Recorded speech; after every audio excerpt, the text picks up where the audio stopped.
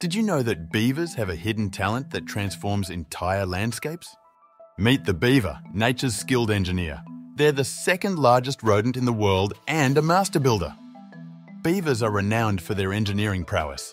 They build elaborate dams and lodges using sticks, mud, and stones. These structures help them create safe, underwater homes and protect them from predators. Beaver fur is dense and waterproof thanks to an oily substance secreted by their glands.